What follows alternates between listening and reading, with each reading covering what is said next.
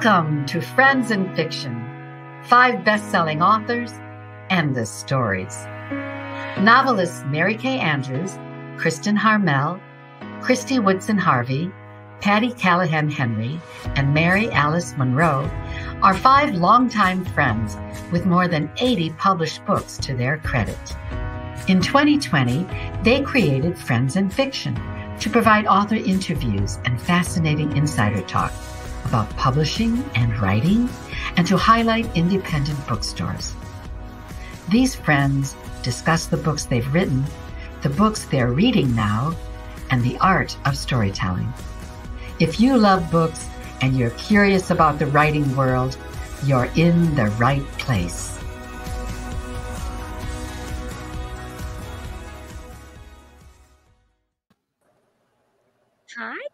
Guys. Hi, everyone. It Hi. is, hi. It is a Wednesday night, and that means it's time for Friends and Fiction. We are so happy you're here with us, and we hope you are having a great week so far. I'm Kristin Harmel. I'm Kristy Woodson Harvey. I'm Patti Callahan Henry. This And I'm the new one. a new one. This is Friends and Fiction. Tonight we have not only a special guest coming on, but we also have a special guest host, the one and only Kristina McMorris, who we all adore. Hi, Kristina. Hi. Hi, Kristina. here. It is so great to have you with us. So, of course, Mary Alice is on sabbatical and Mary Kay is on vacation. So, when we're down two Marys, the only logical option is to add another Kristin or Kristy to keep things confusing. So, we did our absolute best and we landed on a Kristina. So, Patti, I'm afraid you are outnumbered. so, tonight, along with our dear friend Kristina, Kristy, Patti, and I are excited to welcome New York Times bestselling author Lauren Willig whose latest, Band of Sisters, just came out a few months ago. We'll be talking about the book and also about her fabulous frequent collaborations with Karen White and Beatriz Williams, her hugely popular Pink Carnation series, and how she so adeptly balances work and life, which is a tightrope walk many of us are doing right now. And falling off of that. And falling off repeatedly. I, I'm falling off. And I have to say, until Lauren gets here, and I am the odd man out, I think we sound like a band. Mm-hmm. P Cal Yeah. and the uh-huh. Christies. Yeah. I like What do you that. Think? Well, we were supposed to be Mary and the Christie, so don't tell Mary Alice. I would Don't wish. tell them. It's P Cal and the Christies. Well, And somebody I- said it's Patti and the How, how That's come we always get we always get relegated to being the back with the backup singers? What's with that, you guys? Can What it is- just be I don't the know. Christies with Patti? I mean, Yeah. It could. It doesn't have as good a ring though. So I'm doesn't. sorry. I will agree. I mean, you know, I, I don't want to be a backup singer necessarily with this stunning vocal. Uh, same, You know, same. but- Right. We're like the Supremes. So There we gotta you work go. on, we got to work on our dance, though. I'll, I'll I'll practice my tambourine since it's the only thing I play. So as always, it is so important for us to remind you about supporting independent bookstores. And tonight we are highlighting Shakespeare and Company on Lexington Avenue in New York City. And I know there's one in Paris, but tonight we're talking about the one in New York City. And we will be telling you more about them in a little while. We also are so excited because we have a brand new partner this week that we all love our friends at Caroline's Cakes, who want you to take a bite out of summer with them and with us. Doesn't that look just Um, Oh, uh, Good. cake and so wine? hungry. So great. um, but all month long, each of us will be telling you about our beach bag must haves, our favorite reads of this summer, our ideal Labor Day weekend, and of course, our favorite Caroline's Cake Bites flavor. And here's the best part we are offering you a chance to win the ultimate Labor Day weekend beach bag, brimming with swag from Friends and Fiction and Caroline's, including 10 books and an order of Caroline's Cake Bites in the flavor of your choice. So make sure you're following us individually on Facebook and Instagram for chances to enter all month long. The cake bites are incredible. And I'm kind of wondering if I'm eligible Hmm. to win. Yeah, good points. So I am in um, North Carolina right now, and I went to the farmers market near me, and they had a whole bunch of Caroline's cakes No way. today. Yeah, and I was like, those those, those are our people. Yeah. So before I get too carried away talking about cake and especially their gluten free coconut one, um, Kristina, since we have you on the hook, you thought you were just here to co host, but we have you on the hook. So we'd love to ask you about what you are working on now because rumor has it. And we hear the rumors, trust me, Oh, that you have a book coming out soon. And I know that all gajillion people who fell in love with Sold on a Monday are eagerly waiting to hear what you're working on next. So, can you tell us and dispel the rumors and set us straight? Great. Um, I think that nobody is more eager than my editor. because it's not what are you working on now? Kristin and I, we talked about this earlier today. It's what am I still working on? it's so sad. Um, I will say though, before I jump into that, that I am so happy to know, and hopefully Lauren's listening to this because I just discovered on a Facebook post the other day when Lauren, I think of her as a machine, like mm-hmm. the three of you as well. And she just, I don't know how she juggles everything that she does. It's insane. And so when she posted the other day that commenting about somebody complimenting her, she said, Oh, people, I'm a year late with my next book. And I went, Oh my God, I had You're no idea. human. You're human. I'm a year late with my book. So yes, so I, I feel better now. I do feel a little bit better now in our lameness. Um, Perfection takes time. yeah, and this past year, right? I mean, goodness, we can all Yeah. agree this is insane. So yes, I can finally tell you a little bit more. Um, I am turning this book in, hopefully, knock on wood, on Monday. So just a couple more days. So this is really fun because as soon as I jump off here, I'll be writing all night. Um, so it is called The Ways We Hide and historical Oh. fiction again. What Um, a and- great title. Yay! Good. I'm so glad you like it because we went through about a bazillion. I remember. yeah, remember? Yes. Kristin likes to text her all the time. We brainstorm. So yes, that's the title. Yay. And um, and it is, gosh, I will tell you guys, I'll come back and visit if you guys have me back sometime, and I will tell you way more when I have books to give away and all that. Um, for now, I can tell you that it, without giving away too much, it uh, it should come out to next August, is what we're slated for. That's awesome. And so we got one more year, which in normal people's world feels like forever, but we all know, right? That's really fast for us. Yeah. So That's a blink of an eye. Yeah. yeah, so fast. Uh, so historical fiction, World War II, which I haven't been back to um, my in my books in a couple books, and um, the reason I wrote about it is because I came across an article years ago that was that was about World War II, about a British military intelligence group that I had never heard of, and it their skill sets and the people they recruited were so unique and unusual that it sounds stranger than fiction and it has inspired other movies that people have no idea that they are tied to, which is so cool. And the things that they did and created are things that you all have in your homes. You you still use them today. Your kids use them, and you have no idea they used them the way they did. Wow. And it, it was so successful, actually, that they kept it classified, a lot of their work, until 1985, because they thought they might have, have to use it against the Russians during the Cold War. Whoa. So that inspired a mm-hmm. story that and a mix of a female illusionist that is somehow tied to this whole group. Isn't so that awesome? I know. I cannot wait. I cannot wait. I remember. Did you ever think about using the word illusionist I love that in word. the title? Oh, trust me, we went through all of those too. Kristin knows.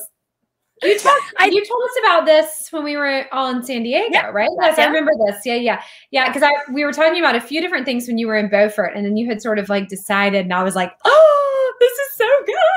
Thank That's you. awesome. Oh my gosh, that was 500 pages ago. Yes. so yeah, I remember that vaguely. Vaguely, vaguely. That's It's a long ago, hilarious. But it was. I mean, it. I mean, that it's a big story. It's a big idea. Like that wasn't something you could just turn over. Yeah. Yeah, Anyway, we can't wait. We, can't cannot wait. to read it. I know I cannot wait to read it. Um, Yeah. so you know, early looks were available here Oh, yeah. for. Um, but you know, every week, you guys, we partner with Parade Magazine Online. We stream from their Facebook page live during the show, and we have an original essay in their online magazine every week this year, I mean, this year, this week, Kristin Feels read like a. A nice, beautiful letter to her son Noah about what she hopes he learns as he starts mm-hmm. kindergarten next week. And I was like crying in the car reading it, just remembering Oh. kindergarten and Will starting fourth grade, which is insane. Um, but you can find it linked on our Facebook page and our Instagram bio. So, Kristin, can you tell us about this beautiful? Yes, episode? let's just have a quick chat about it because I want to move on and bring Lauren on. But you guys, I'm going to need major moral support next week because Noah Yep. starts kindergarten on Tuesday. I'm seriously beside Amazing. myself. So this So week for parade, I know I can't believe it. Um, I sat down and wrote him a letter about what I hope he learns beyond the actual lessons he'll find in books. So of course you can find that essay on parade.com, as Kristy said. Now, Kristy and Kristina, you both have school-aged kids, and Patti, your granddaughter Bridget, is not too far away from the beginning of her school journey. What are some lessons that you hope they take away? From this school year and bring with them always. And maybe just keep it quick so we can bring Lauren on. Ladies, how about you, Kristina? Yeah. So, um, gosh, you know, don't bite other kids. Don't bite. let's, let's start with that. That is my that is my nephew, and That's um, awesome. he was not a biter until he went to kindergarten. That's Okay. hilarious. But one more thing to worry about now. Yeah, but he learned very quickly, you know, about conflict resolution. So that is something we can all agree that biting is bad, and you have to come to compromises. Okay. Awesome. I love that. I, I just I think your your whole life, you know, you're you're working with people who are different than you, who don't communicate the way you do, who don't do things the way that you do, who don't look like you or act like you or think like you. And I think that's one of the greatest things about school is that it it sets you up forever for being able to, you know, work with people and understand people and like people and be involved with people who um, you might not necessarily have thought were going to be like your person. And so I I just love that because I think that's such a good life lesson and we use it forever. yeah, Absolutely. I love that. I love that. Um, I didn't write a letter when my kids went to kindergarten, but you've inspired me. I'll probably write one to my granddaughter, but I did write a letter to all of them when they went to college. Oh, And- awesome. I remember going halfway through my son's freshman year, and he had, oh my God, I'm going to cry. He had my letter on his bulletin board in his Oh room. gosh. And it was still in the envelope, but it obviously had opened it and read. And um, something happened a couple months later, and he texted me and quoted part of that letter. So, Oh, Kristin, Yeah. that letter, you need to save it forever because he doesn't know the impact right now, but he will. He I will. love that. And you know what? Let me. That just reminded me. I'll insert one thing that on a serious note. Yeah. So, but, although biting is serious, That's Um, serious. is and this will be really good. I just thought of this. Um, that you could start when he starts to going to school or the end of the year. What I started. Okay. What I started doing. Can you hear me? Okay. Yes. Okay. What I started doing. They can't hear me. What I started doing uh, when they were a couple into about second, third grade, but I backed up to kindergarten, and I bought "Oh, the Places You'll Go" by Oh, Dr. Seuss, yeah. which usually you give as a high school present, right? yeah. But I saw online that somebody had done this so cool. Starting at kindergarten, you have their teachers or love their that. counselors, everybody they loved at the end of the year, you ask them who were their favorite teachers of the year. And they all write a note in that book. And they that. don't know it. But I'm giving my Love it. my oldest is a senior, so he gets it next year. Oh, So that's great. chill bomb. That's Great super cool. amazing. idea. Oh was my such a good I idea I stole. So much. It really is. Oh, that's amazing. Yeah. All right, everyone. So you know that our guest tonight, Lauren Willig, also has two young kids. So I bet she has some thoughts on this too. Maybe we'll touch on motherhood and parenthood a little bit with her tonight. So let's take a moment to introduce her and then we will bring her on. Patti, you want to get us started? Yes, Lauren is the New York Times and USA Today bestselling author of more than 20, 20 works of historical fiction, including Band of Sisters, The Summer Country, The English Wife. I love that title, The English Wife, Yeah. by the way. The Rita award winning Pink Carnation series, and three novels co written with Beatriz Williams and Karen White. Wow. Her books have been translated into more than a dozen languages, picked for a Book of the Month Club, awarded the Rita Booksellers Best and Golden Leaf Awards, and chosen for the American Library Association's annual list of the best genre fiction. and she's also an alumna of Yale University, just that little school that you may have heard of. Um, yeah. that little dink, that dinky place because she couldn't get in anywhere else. Um, Yep. Lauren, Exactly. like- Poor thing. oh my gosh, and then overachiever has a graduate degree in history from Harvard and a JD from Harvard Law School. Okay, I'm already feeling stupid. I Yeah. know, I know. Yeah, yeah. W- welcome. Yeah, we feel like that every week lately. Oh I feel gosh. like, right? like this is. I'm, I'm, I'm kind of depressed now. Okay, she lives in New York Yeah. City with Yes. her husband and two young children that we'll talk about. And a few fun facts Lauren has also spent a year doing dissertation research, total slacker lady, in London. And she actually signed her first book contract during her first month of law school, where I imagine she had loads and loads and loads of time on her hands for writing. I mean, how hard can Harvard Law School actually be? Yeah, I mean, Elle Woods was like planning mixers while she was Yeah. doing it. Yeah. True, I've true. seen that movie. And Yeah. looking super And cute. that sequin bikini. Yeah. She actually practiced law as litigation associate for a year and a half at a big firm in New York before leaving to write full time, at which point she began teaching a class at Yale called Reading the Regency Romance, which was an exploration of the rise and development of the Regency romance subgenre, something Lauren knew a little bit about by then. Her latest novel, Band of Sisters, tells the true story of the Women's Relief Unit of Smith College, which traveled to France during World War I to help rebuild war torn villages. But let's let her tell us all about it. Sean, can we bring Lauren on? Hey, Lauren! Lauren. Oh my gosh, thank you so much for that lovely introduction. We're so excited and a little bit intimidated that you're here with us because after that introduction, we're all like, uh, okay. I just get easily bored. so, Lauren, before we take a deep dive into your world as a writer, will you give everyone a quick description of Band of Sisters? Sure. Band of Sisters is based on the true story of the Smith College Relief Unit, a group of determined Smith College alumni who went off to France at the height of World War I to bring humanitarian aid to villagers right behind the front line. So these women battled, you know, German shells, French bureaucracy, recalcitrant livestock, and a group of British officers who were like, Hi, women are a war zone. What are you doing here? And we're like, Hi, we're just saving people. So that's the story. It's based on thousands and thousands of letters home by the real women who did this, which are in the archives of Smith College, who were just, they were the most amazing people. And luckily for me, also amazing letter writers. Well, I am glad that you mentioned that because that is one of the things we wanted to ask you about today. So, a quick note to everyone out there please put your questions in the comments on Facebook or YouTube, wherever you're watching us, and we will try to get to a couple of them tonight. So, Lauren, you are so well known for the vast amount of research you do for your novels. I mean, I feel like it's been that way since the beginning of your career. And of course, Band of Sisters is no exception. Can you talk a little bit about how you came across this story of the Smith College Relief Unit? And about the research you did. And I really do specifically want to hear about the letters because I think that's just such an just such an interesting component of how you put this book together. My gosh, thank you. And you sort of like all the best things, this book happened to me totally by accident. So, Mm. as um, the gals here mentioned, in addition to writing my own books, I also co write with two really good friends, Beatriz Williams and Karen White. And so we wrote a little book set in three quiet, calm time periods in French history World War One, World War Two, and the 1960s.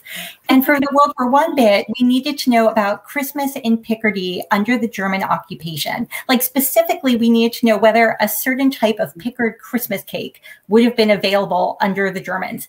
And so, you know, because this is a thing that will haunt you. There will be that one reader Yes. who, for the rest of your life, will be like, but in 1914, they didn't have the cake.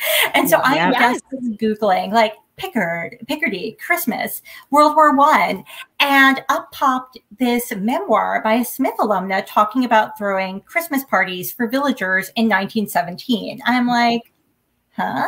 Because it sounded, it read like fiction. It sounded crazy. Like this group of long skirted smithies out there dressing up, I kid you not, as Father Christmas and hooking toys on fishing line for the kids to pull out of a decorative screen. I'm like, someone made this up. So, of course, I dropped everything because, you know, procrastination mm. is my middle name. And I read the whole memoir. I was like, oh my God, this happened. This is real. Someone mm-hmm. must have written about these people. And I went digging, and there were no secondary sources it kind of blew my mind that no one had written the story. There were these two memoirs. There was a pamphlet, which told their story through bits of their letters. And it had been put together in the 1960s and sort of vanity published. And it was, you could tell the letters were really heavily edited. And there was the Smith uh-huh. College Alumni Quarterly, which had printed bits of their letters home in real time. And I was like, oh my God this is amazing, but there are gaps in the story. There was stuff where you could just see the ellipses and yeah. you cut the juicy bits out. And so oh, wow. Smith College has this amazing library guide online. And I saw that they had letter collections from the members of the original Smith College Relief Unit. I thought, okay, I have these questions, like such questions. Like one woman had talked about this horrible thing that she had seen that changed her whole life and made her decide to go home and accept her boyfriend's proposal. I'm like, oh my God, what's the horrible thing? And even more importantly, their director, the woman who had the brainstorm for this whole unit, like this was her baby a week after they get to their headquarters, she suddenly resigns and leaves. And there's no oh. in any like the dot dot dot does not cover this. I'm like, why hmm. so? What? um, because they're like, her health, but nothing had been said about her health before. I'm like, okay, there's a story. Something happened. So I emailed the archivist at Smith College. I was like, so I see you have these letters and you say you can digitize things because I have a one year old and a five year old, and I don't think I can make it to the archives. Could you send me these letter collections? And they're like, do you know how many pages that is? And I was thinking like 10 pages and a picture postcard of Paris. Because I've done archival research before, and sometimes you would get really excited because you're like, oh my God, there's a letter collection. And you get there and it's someone's laundry list. Or my favorite was when I was doing my dissertation, I trekked out to the University of Nottingham archives, actually fell down a hill in the process, but that's all other story. and there was supposed to be the the memoir, the journal of this prime royalist who had helped King Charles escape from cap- captivity and then got him captured again. I'm like, finally, I'll get the inside scoop. I got there, and his journal was there. It was entirely about his struggle with his hemorrhoids. So okay, five letters, a postcard, and something about someone's hemorrhoids. And the archive the archivist was like, "Look, we're happy to digitize this stuff for you, but you realize that's over a thousand pages." oh like, my gosh! Oh my goodness. And wow. I spent a whole summer reading through, and it was not a journal about someone's hemorrhoids. It was actually like the day to day stuff they've been doing, the answers to all, all of my questions were there. It was every novelist's dream of the cache of papers you hope you'll find, but never do.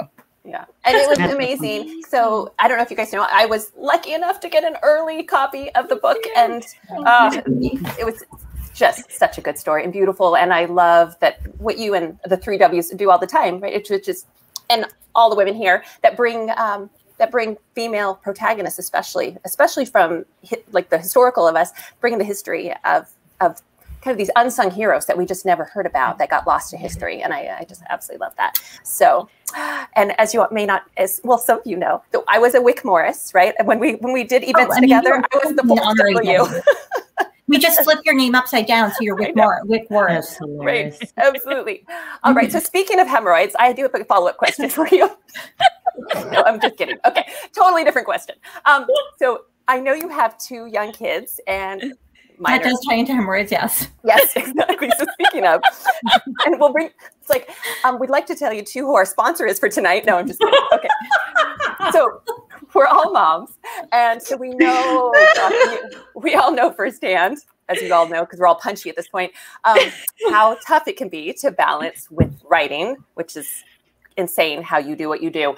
So can you talk to us a bit about how you have found some balance. Do we do we laugh through that? Balance between yeah. mom life and writing life, and over the last year and a half, especially with all the craziness going on, and especially because in New York, where you live, where essentially you guys were locked down. Yeah.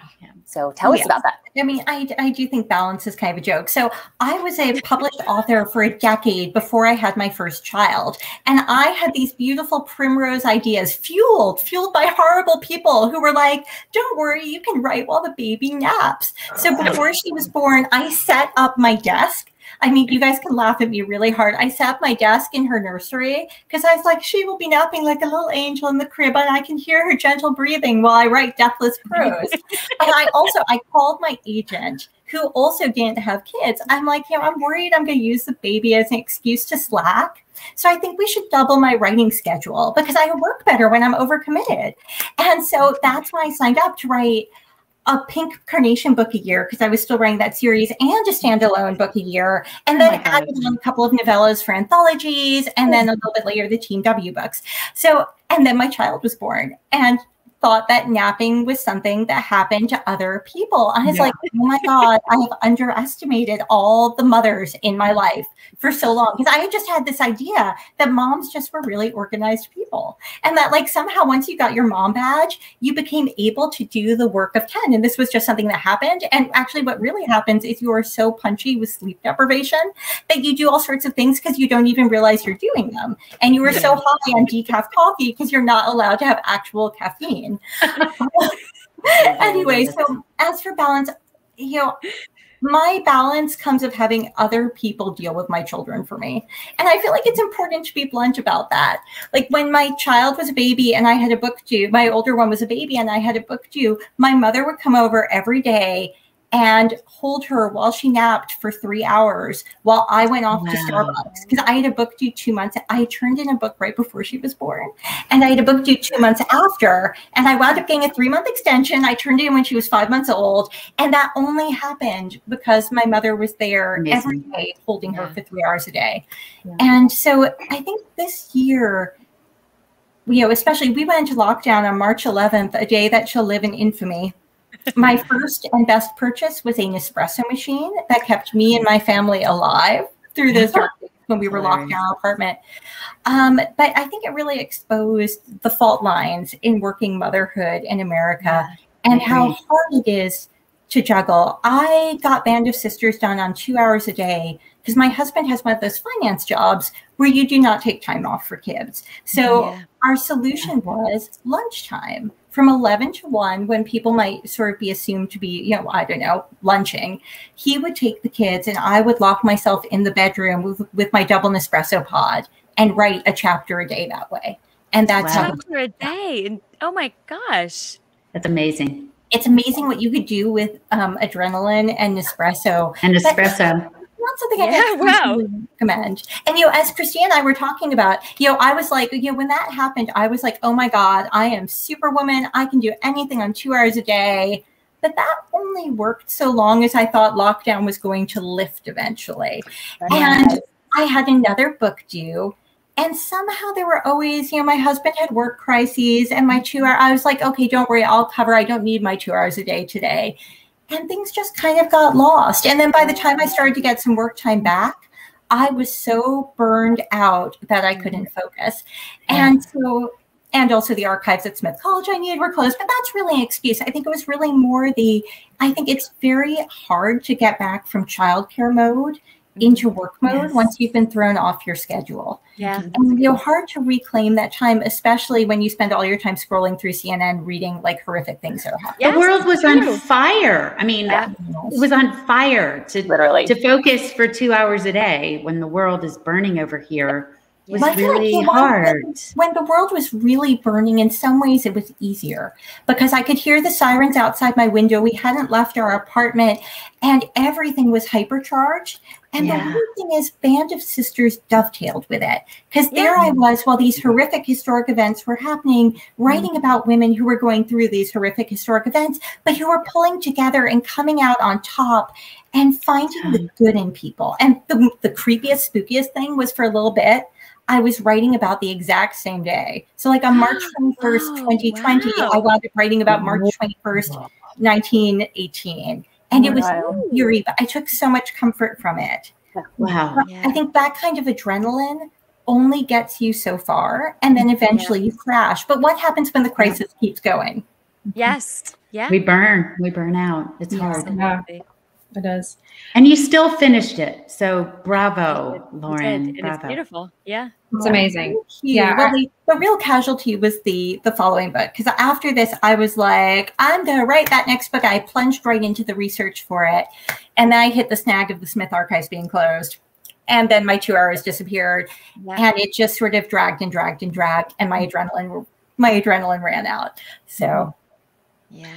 I, I can relate to that because I chose this year to do my first part historical novel and had all this these grand ideas of all these places I was going to go research and how I was going to be, you know, elbows deep in all of these things. And then the world shut down. And it was like, thank the Lord for librarians because like what would we have done? I mean, it was crazy. Um, but anyway, um, thank you for sharing all of that because it's not always easy. And um, but you you pulled it out and it's amazing. Um, but you are also so well known for your sweeping Pink Carnation series, which Library Journal called the best literary bouquet ever created. And reviewer Bobbi, Bobbi Dumas called genre bridging in a piece for NPR. She goes on to say, I call them genre bridging because they satisfy romance fans who love the pinch in the chest, soul satisfying, all is well in the world, happy ever after denouement. But they also have such densely detailed and gratifying historical, swashbuckling, spy based plots that non romance fans love to. What a review! I mean, that Jeez, I know. Right? So, first, can you tell us a bit about that series, which takes place between 1803 and 1808? It also has a modern day storyline. And did you mean them to be genre bridging? You know, they they were another great example of things that happen when you intend to do something else. So I had really I went off to grad school thinking I was going to write those big doorstop historical fiction novels. You know, Gone with the Wind, The Thornbirds, Through a Glass Darkly, and I was going. I know it doesn't everyone love the Thornbirds? Um, but I was going to I was going to use my PhD to write because my my field was Tudor Stuart England. I was going to write this this thousand page long 17th century epic. But there I was, I was a third year grad student grading student papers, you know, getting these emails from students being like, oh my God, you gave me a B plus, my life is over. And I needed to do something for fun. So just for fun, I wrote this swashbuckling romp about spies during the Napoleonic Wars. Because I grew up on the Scarlet Pimpernel and Zorro, but I had questions. Like, how does a heroine not realize who he is behind the mask? And like, why does the Scarlet Pimpernel have it so easy with Marguerite? I mean, she could give him so much more trouble. So this was really, this was my sanity saver, was my Napoleonic romp, which was sort of a mix of the Scarlet Pimpernel and Georgette Heyer and Blackadder and sheep jokes and sort of whatever came to my mind at the moment because it was just my mental health project and it was meant to be silly and a spoof. But the weird thing was, a friend of mine, I, you know, I passed it around my friends to my friends because it was full of these in jokes.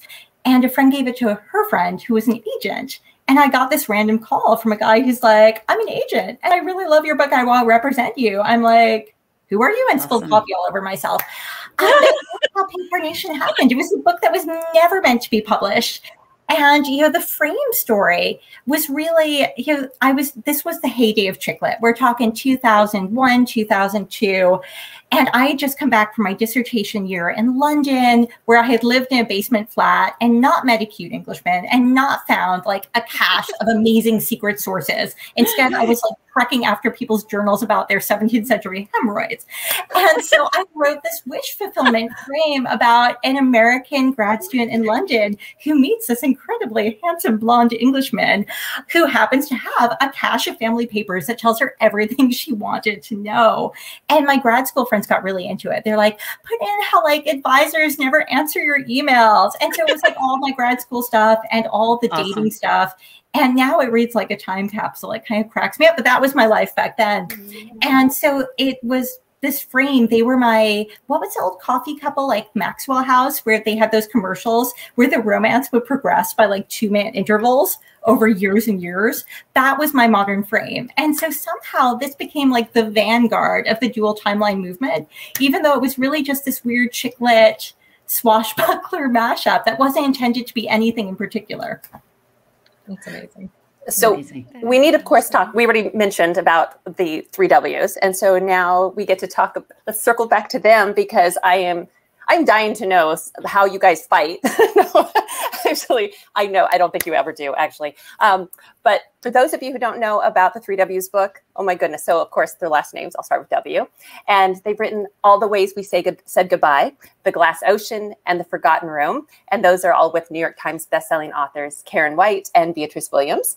So, can you tell us a little bit then, besides the whole fighting part, which we really want to know about? We do um, know how, how you work together and collaborating like that the how the rhythm of collaboration works um, with the three of you all working on your own projects at the same time which is insane in itself amazing and how you balance that to to do both at the same time well, there's a lot of Prosecco involved. Actually, it's very funny because we like to tell people that we weren't put together like the Spice Girls. We are all genuine W's.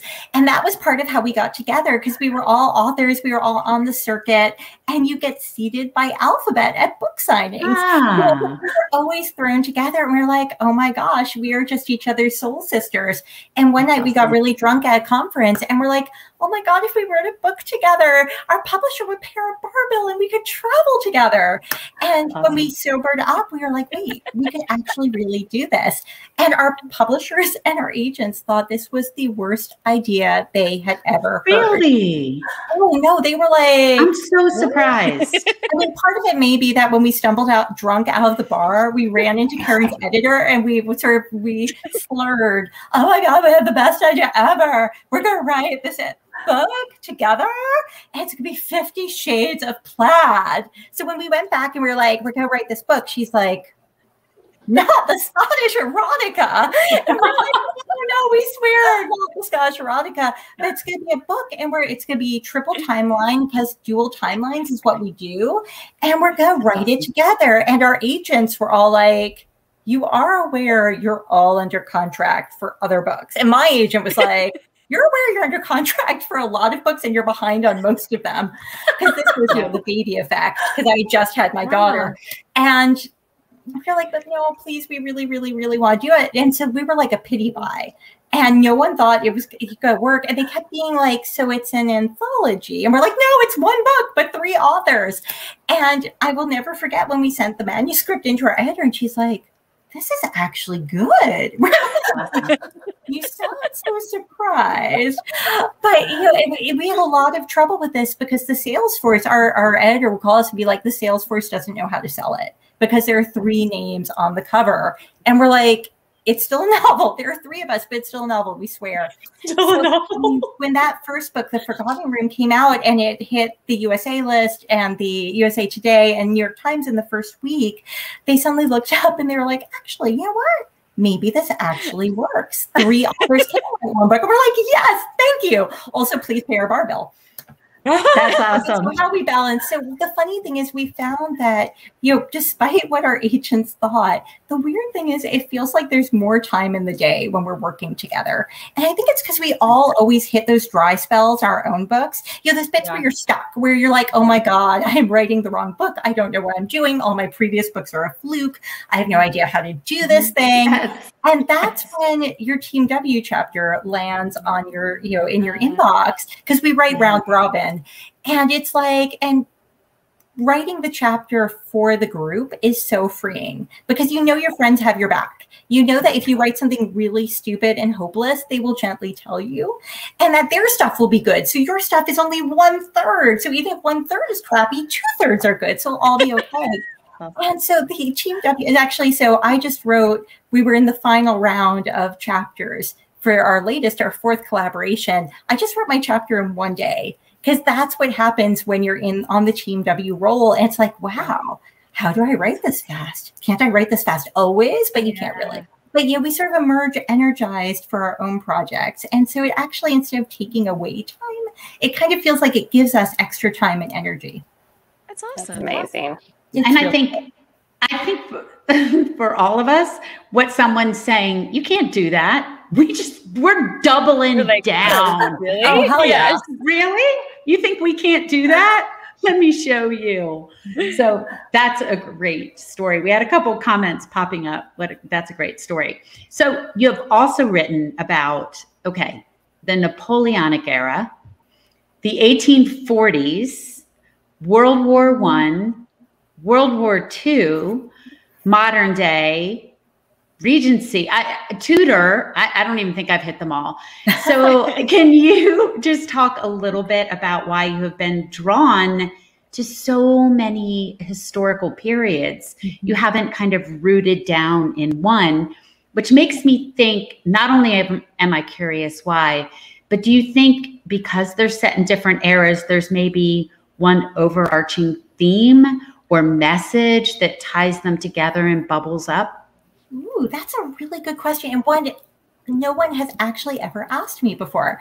You know, I think part of it is this is the reason I realized I would make a really crappy academic historian is I'm a historical magpie. You know, I'll see something like that. these behind the front lines and be like, "Ooh, shiny! I want to read about that."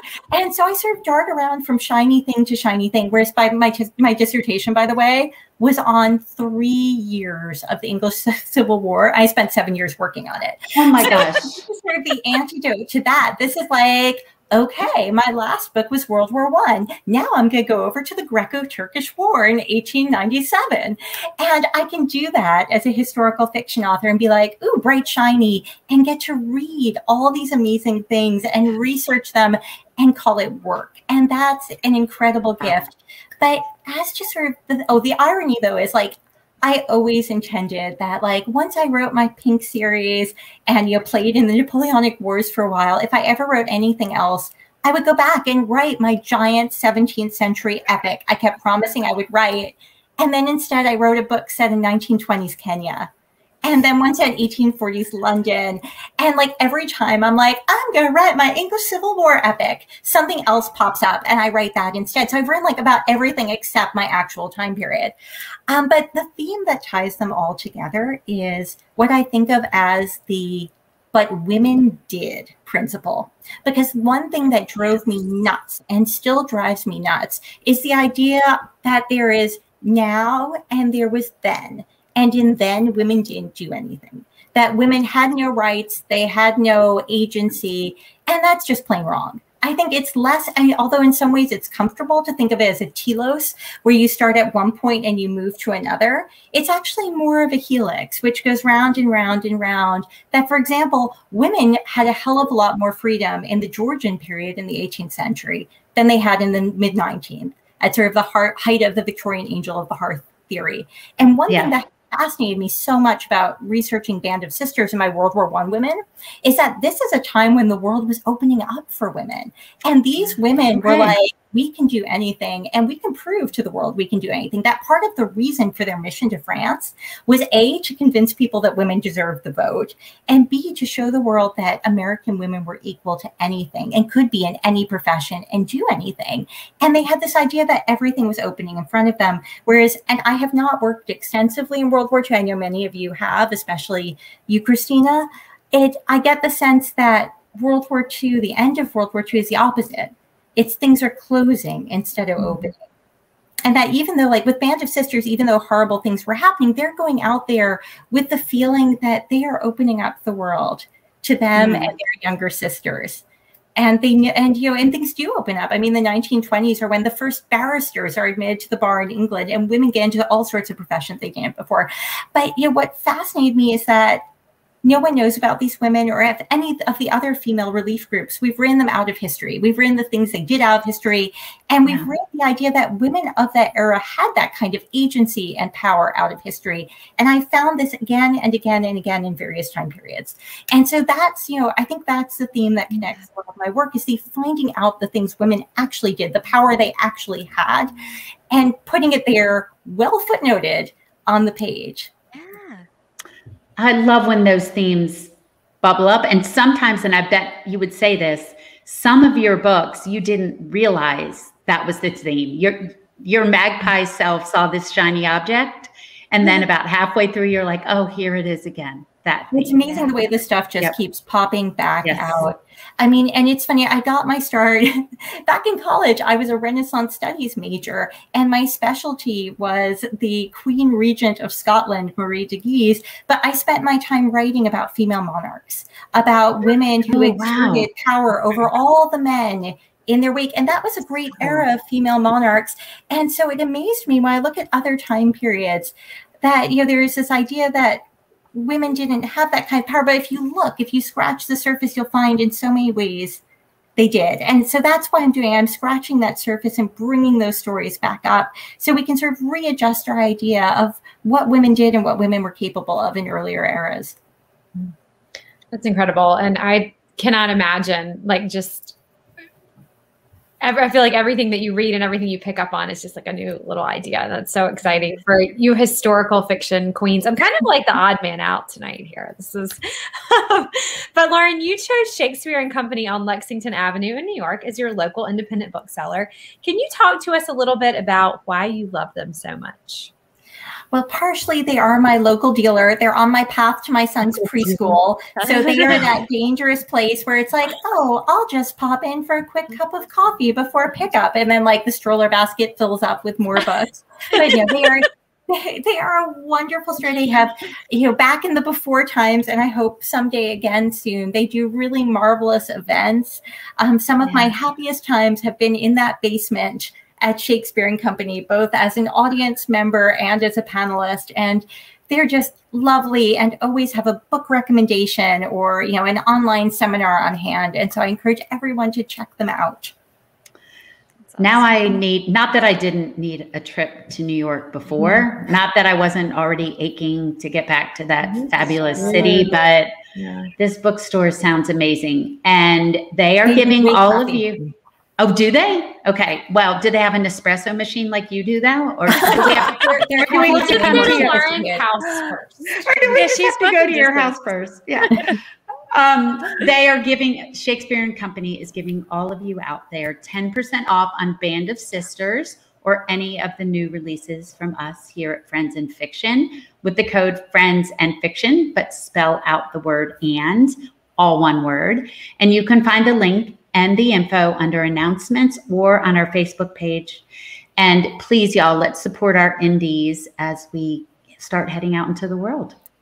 Absolutely. Okay, so I know there are a lot of live questions. We're running a little short on time. So maybe, Lauren, if you would, maybe you could stop back in later if you have a chance sometime later this week to answer. There, there are just a lot of questions oh, coming absolutely. in. Absolutely. I will go and type out answers to you guys. That is fantastic. fantastic. Thank you so, so much. More questions, feel free to keep putting them in and I will keep typing. Oh, Lauren, that's amazing. Thank you so much. Thank um, you so much for having me. Well, we still have a couple questions for you. We're not getting we're, we're not we're not letting you go yet. You're you're still stuck with us for a few more minutes. So every week one of our favorite parts of the show is receiving a writing tip from our guests. Do you have a writing tip you can share with us perhaps about how to write a chapter a day in a yeah. in in a panic and to churn out a book in a few weeks because I mean, asking for a friend. Uh, that has nothing to do with anything I have coming up in the next couple of months. well, that's an easy one. Nespresso. Um, Nespresso is our new sponsor. Say, like, we should, can we send them this episode and like kind of see? yes, please. You know, they'd like to put little ads for our books on the pods, or even right. better, they can name pods after our books. Yeah, oh, that's funny. Like the sold on Monday coffee flavor. I like it. I like it. Happening on Tuesday. Um, it's called shaking on a Wednesday. so the English wife, the English blend. Um, yeah, nice. No, but actually, my my best writing advice is always ignore advice that I don't think there's any right or wrong way to do this mm-hmm. crazy thing we do. And that the only way to learn what your method is, is by trial and error, by just flinging yourself at it until you figure out what works for you.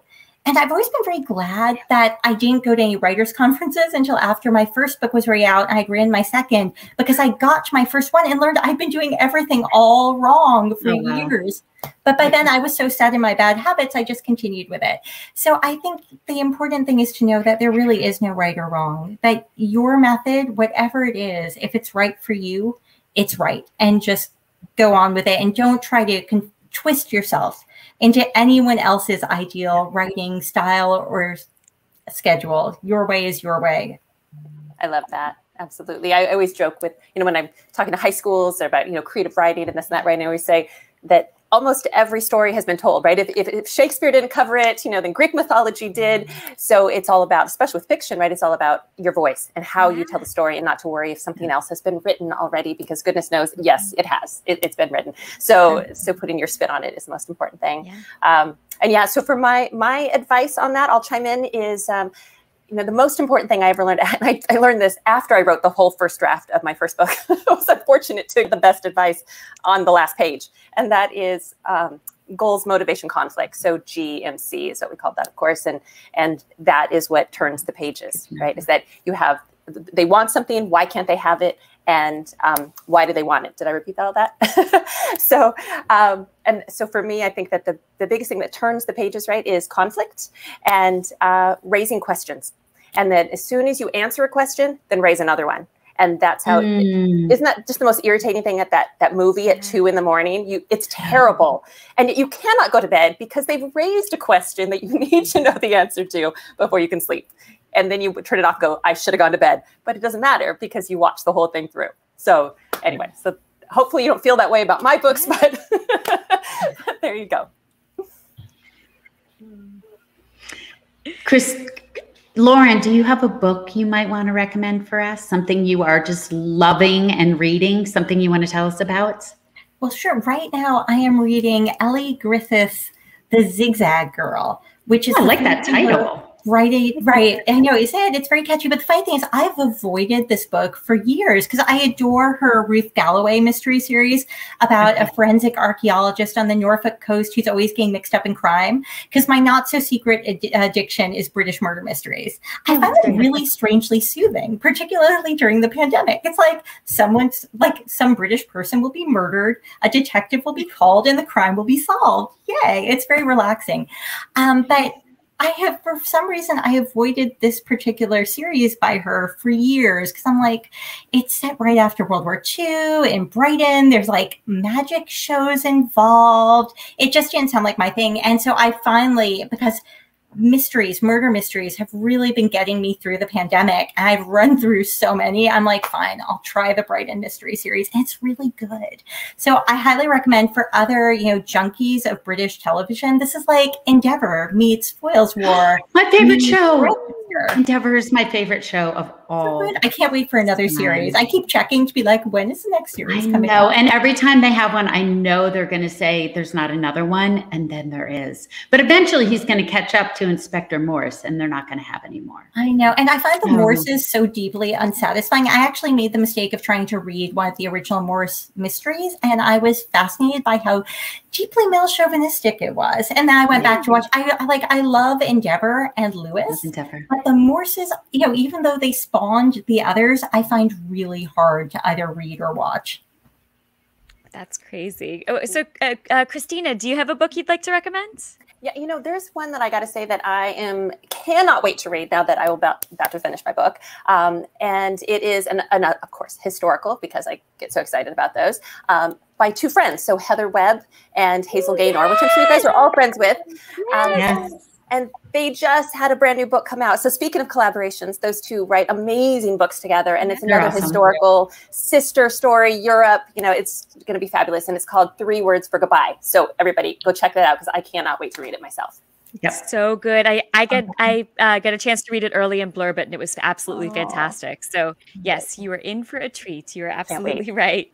Kristy, did you have a book you wanted to mention also? Um, yes, I just wanted to mention um, Ali Larkin's uh, The People We Keep came out this week. And um, Ron and I got to interview her for the most fabulous podcast episode. So you guys need to definitely check that out when it comes out. But um, the book opens with um, a girl uh, hotwiring a car to get to an open mic night. So basically, I was hooked from page one and I was like, what is this? And um, just her story about this story absolutely was breathtaking. So um, everybody needs to check it out. It's a great book, and the podcast episode was fantastic. Talk about hitting on the goal, motivation, conflict on page yeah. one, Kristina yes. McMorris. Yeah, I mean. oh my gosh. Okay. I can't oh, wait to read that. Awesome. I know. What's, uh, what great recommendations this week. This sounds wonderful. All right. Kristina, Lauren, everybody, please stick around. We have one final thing to ask Lauren. But first, a few messages from us. We always want to remind you, and Kristy just mentioned it about our podcasts. We have the Friends and Fiction Writer's Block podcast, and we will always post links under announcement each time a new one comes out. It is so much fun because it's totally different from the show. And we interview people on Fridays. And we have Ron Hones in on memoir writing this week with authors Y2 Moore and Lisa Donovan. That drops on Friday. And wherever you get your podcasts, you can find these. Last week, they interviewed Jean Hanff Korelitz, who wrote the plot, and the book was a Jimmy Fallon summer read pick. We are going to have people like Zibby Owens, Christina Lauren, Steven Rowley, Amy Jo Burns, and so many more. One easy way to listen online, if you don't already listen regularly, is to just go to the Friends and Fiction website and click on the podcast link. And you can listen straight off your computer. You don't even have to get fancy and pull out your phone. well, I just want to remind everybody about all of our fabulous Friends and Fiction merchandise um, that is available either through our website or um, it takes you over to Oxford Exchange. They have a whole Friends and Fiction section on their website with t shirts and wine cups and tumblers and all kinds of good stuff. And we are getting ready to um, roll out a really amazing new Friends so exciting. We cannot wait to tell you about. And we're pretty sure that you're going to want to get it for everyone on your holiday list. But speaking of your holiday list, do you know that Patti, Mary Kay, and I all have winter books coming out? Mary Kay's The Santa Suit, Patti's Once Upon a Wardrobe, and My Christmas in Peachtree Bluff. You can um, order them in partnership with Nantucket Book Partners, and um, they'll you know come to you on their pub day or right as soon as they come out, and you get an exclusive Friends and Fiction coffee mug and branded hot chocolate. And it's the only place you can get those, so um, it's good winter reading for you know keep you cozy. And there is this video we made, this exclusive oh, yes. video, and oh. you get the QR code with this subscription, and you Thank can you. This little video we made together um, where we tell behind the it's scenes secrets in Kristy's living room. So, and of course, if you're not hanging out with us yet in the Friends and Fiction official book club, you are completely, totally, utterly missing out.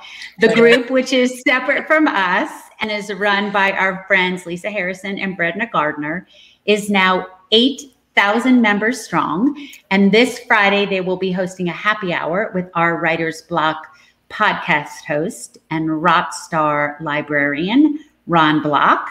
And then on August 16th, Kristin will be joining the Friends and Fiction Book Club to discuss her astounding book, The Forest of Vanishing Stars, which of course came out last month. They have plenty more fun events in store. So if you haven't joined, hop over to the Friends and Fiction Official Book Club. Next week, join us right here at 7 p.m. again on Wednesday at 7. I already said at 7 p.m. 7 p.m. That's it. That's Drinking. It. I'm having water and I can't get the time. Um, to meet Taylor Jenkins Reid, who we're so excited to host, the author of Daisy Jones and the Six and this summer's huge hit, Malibu Rising. I will also be giving you, I forgot about this, a sneak peek at the brand new cover of forgot. my what he did. Like, oh God, I gotta get that together. Of my 2020 novel, The Wedding Veil, and a chance to get a free gift if you pre-order. So you won't want to miss it. And if you're ever wondering about our schedule, it's always on the Friends and Fiction website, as well as the sidebar of events on our Facebook page. And to learn more about our individual online and in-person happenings, make sure that you subscribe to the Friends and Fiction newsletter, which you can do from the landing page of friendsandfiction.com. And now that we're almost wrapped up, Lauren, you have one more question left before you go, and it is not hemorrhoid related, so you should be relieved. okay, everybody's been hanging out though, staying on the show for that. Okay, so so I have a question for you that I know all the ladies here want to know, and that is that we are really, really interested in um, what were the values around reading and writing in your childhood. So, what books did you grow up with, and how important were those? Oh my gosh. Well, I grew up surrounded by books. You know, sort of as you can see behind me, the interior decoration scheme is where can we stick more books? Um, I grew up on a lot. Of, well, I grew up reading things that were inappropriately way too old for me. I got my hands on my first romance novel, Mary Lide's Ann of Cambray, set during the Civil War between Stephen and Matilda in England when I was seven years old, because I had read um, oh gosh, I'm blanking on her name, E.L. Konigsburg's A Proud Taste for Scarlet and Miniver about Eleanor of Aquitaine and fell in love with her and pestered everyone for anything that might have anything about Eleanor of Aquitaine in it. And once I maxed out on my school's library's biographies of Eleanor, my father went and handed me Ann of Cambray. And that was just it. I moved on from there to Jude Deveraux and Johanna Lindsey. So I was the first grader on the school bus going back and forth between Nancy Drew and Twin of Ice, Twin of Fire. So, or like, oh, my goodness. So, you know, although to the pure. All things are pure. There was so much that totally went over my head. But my parents' reaction to this, when other parents would be like, "Oh my God, why are you letting her read like Sweet Savage Love?" was we don't care what she's reading as long as she's reading. reading. Although they did balk a little at Sweet Valley High.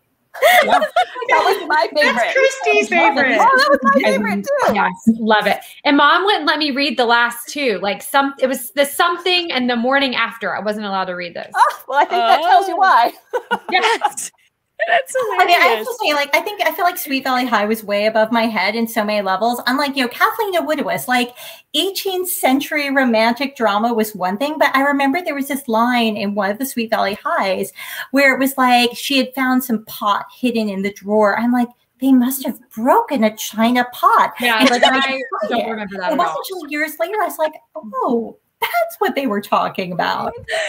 Oh my God. Isn't that That's funny when, awesome. when you read stuff a little too early and you think Yeah. you get it and your mind just fills in? Oh, I, I love that. Or my other favorite was like in one of those romance novels where there was this extended metaphor, as only like Kathleen E. Woodiwiss and those 70s and 80s writers could do, about waves crashing on a beach. And I, of course, it was all about, you know, it was sex. But I was like, when did they go to the beach? How did I miss this transition? I'm flipping back trying to figure out how they got from the castle to the beach. That is amazing. And on that note, I just think that is the perfect way to Perfect. close out our show. So, to all of you out there, we encourage you to grab Lauren's latest novel, Band of Sisters, hopefully mm. from our bookseller of the week, Shakespeare and Company on Lexington Avenue in New York. Lauren, thank you so much for dropping by to talk about your new book, your writing life, all the amazing things you have going on, and just sharing so much. This was just fun. I think I've smiled the entire hour. I know, oh my so children much- are like, I know, this "Oh, was such a great one. Oh my goodness. Well, thank you so much. It is always such joy. And thank you so much to Kristina McMorris for you co-hosting. W. All right, Oh, thanks, good to see Lauren. you. Bye. Thanks for coming. All right, everyone, we so deeply appreciate you joining us. This community means so much to each and every one of us, and you all out there are at the heart of it. Kristina McMorris, a huge thank you to you for filling in for Mary Kay tonight. Oh. We adore you in every way and cannot wait to mm-hmm. have you back again with us. Thank you. This was so fun. You know that I would have loved to have done this for the last year, but my book would have been coming out two years late instead of one year. I- I So know. this is a treat. Thank you. Well, we are so glad to have you here, but do not leave yet because we have a few questions for you on our Sip and Stay with StoryPoint after show. So, to all of you out there, stick around to hear a bit more from Kristina just after the credits roll. And make sure to come back next week, same time, same place, as we welcome Taylor Jenkins Reid. Meanwhile, don't forget to check out our podcasts, our Winter Wonderland subscription, and all the fun going on on our Facebook page. See you in 30 seconds. Good night. Good night. Thank you for tuning in. Join us every week on Facebook or YouTube, where our live show airs every Wednesday night at 7 p.m. Eastern Time. And please subscribe to our podcast and follow us on Instagram. We're so glad you're here. Good night.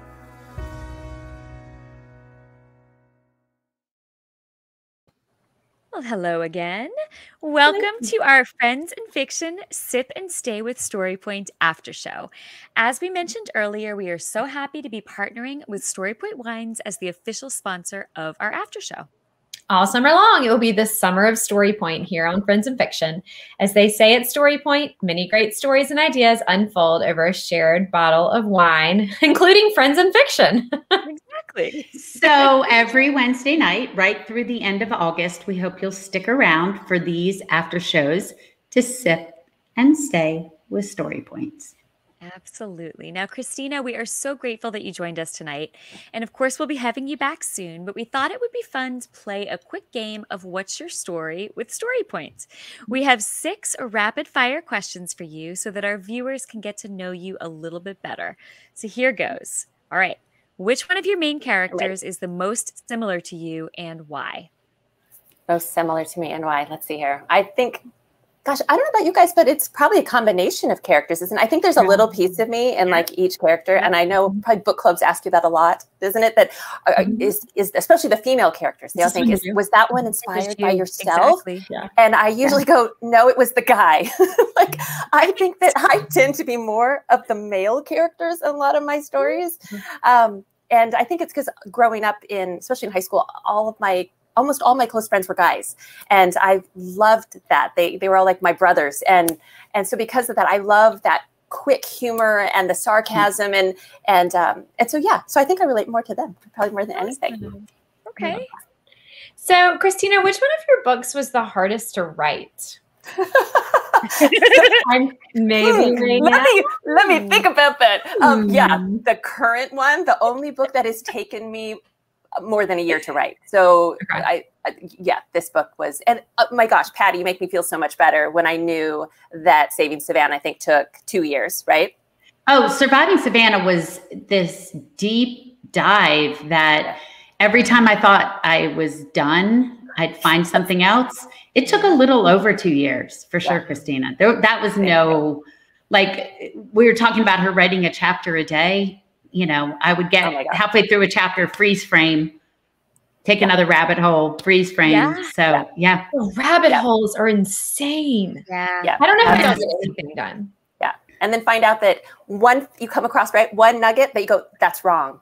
And you Yes. know Yep. that, that they couldn't have used that location on Yeah. that estate, you know, they stopped using it 2 years earlier. And you're like Yes. you, and you go, "Can I? Can I fudge it? Can, oh, but you You know, you can't. You're going to get a letter. no, You're you going to can't- get a letter. and you can't unsee it you know and you work so hard at everything else you go really am i going to let that go Yeah. and but Mhm. yeah of course so of course yeah and the most com- the story for me most and i know your research was crazy most research m- like the amount of research i put into this one for each section there's four sections of the book and each one was enough for an entire novel so it Oh, was Wow, Kristina. and it's in four it's a couple different countries and it's three different countries yeah throughout the book all during a time Wow. that I was familiar with, but not in those not in those areas. So like the Netherlands, it goes into Dutch resistance and things that I had no idea about. So super exciting to look back at how much I learned. But as we mm-hmm. all agree, if we had known what we were getting ourselves into, we never would have agreed. So it's good that I didn't know. Well, what is so great is that I get to pick it up, read it over the course of a week, and learn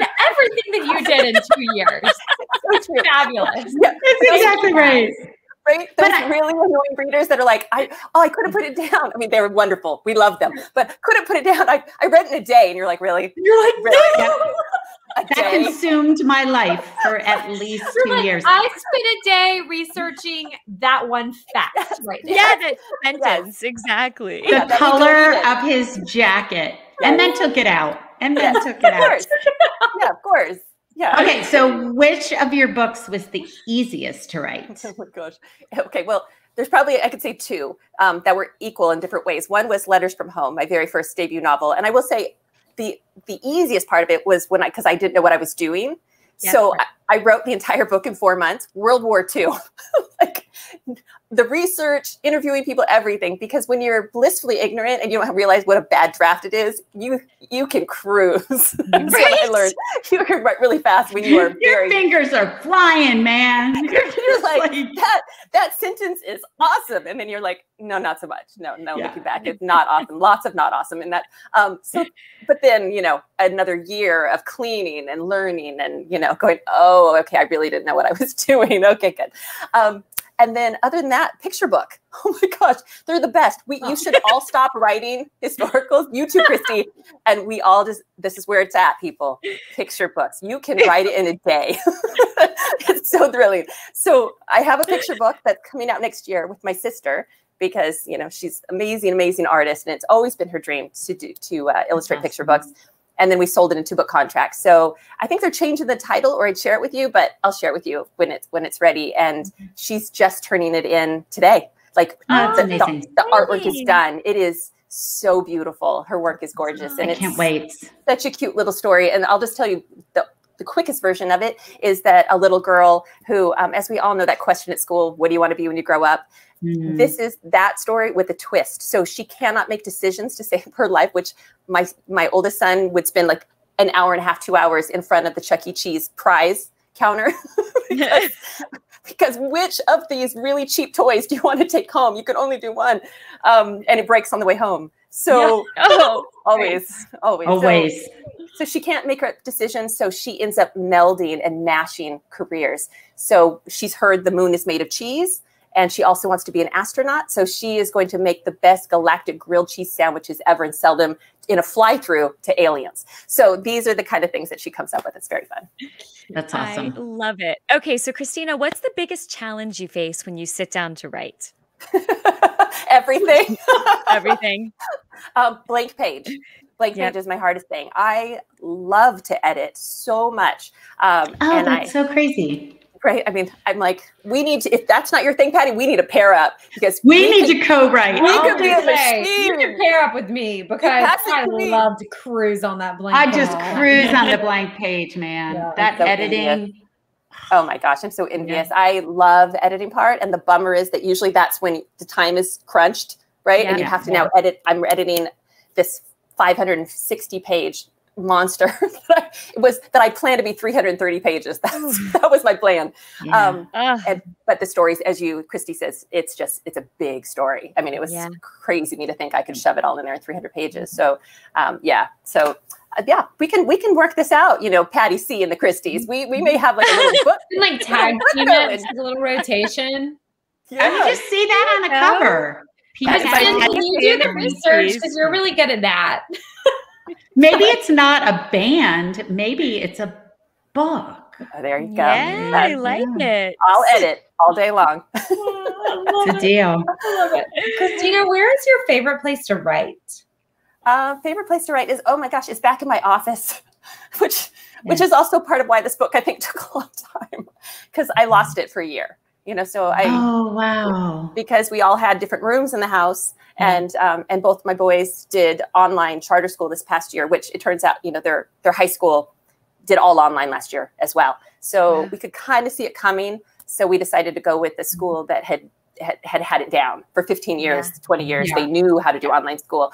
Um, so it worked out great but it meant that everybody was in a different room. And my husband started working out of the house a month before the pandemic so before the shutdown so everybody's got like a section.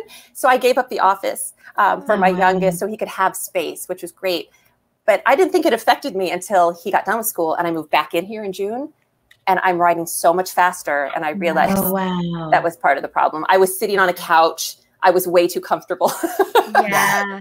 and I was kind of like, I think editing I would have been okay, but not writing from scratch. That I was d- yep. way too distracted.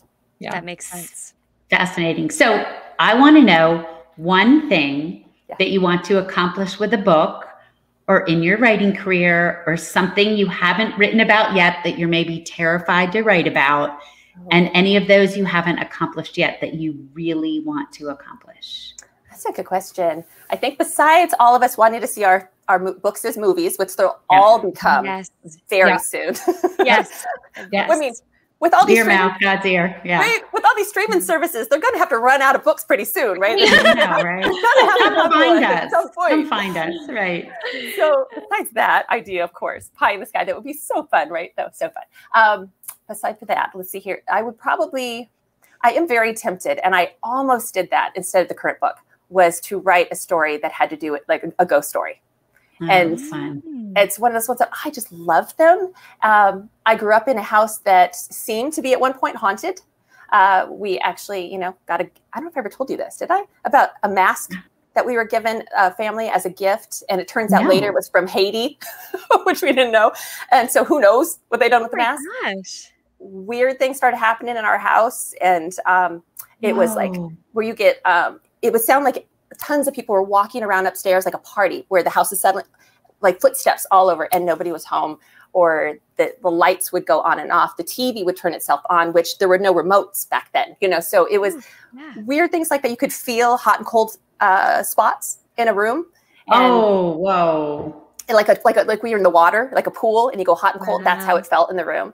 So finally, my we didn't know what to make of it. So my uh, we didn't know about the mask at the time. So my mom had a, our family pastor come to the house, and he saw it, and he was like, "That's kind of weird. Where where'd you get that? I think you might want to get rid of that." And kind of get a bad feeling. We prayed in all the rooms at the time, and it went away. And we found out a couple years later, our neighbors had had the same thing happening at the same time as us, and it stopped at the same time. So Wow. That's a good story. That is a good That is fascinating. Oh my gosh. Well, Kristina, we are so happy that you joined us tonight. This was so much fun. And I love that we used the after show tonight to ask you questions. This was so much fun. Those So were- fun. Yeah. Yeah, that was, was several great. things I didn't know about you. So that was Mhm. um that was really cool. So thank you so much, Kristina. And and Lauren was great tonight. I just think we had a, a wonderful night. Yep, it was really fun. My face is smiley. Oh, I Yeah. Yeah, And it be was like, so oh, fun to have you, Kristina. Like just to have you as the as our as our fourth oh, host. and Co-host. So easy So and fun. fun. So fun. I'd love to be back. I miss you guys. And we, miss you too. So good luck with the rest of the book. I know you're going to turn it in. It's all going to be good. I cannot wait to hear what your editor thinks. Oh my gosh. And um, thank you. And everybody out there, we will see you all next Wednesday Next week. at 7 p.m. Eastern. Good night. Good night. Good night, everyone.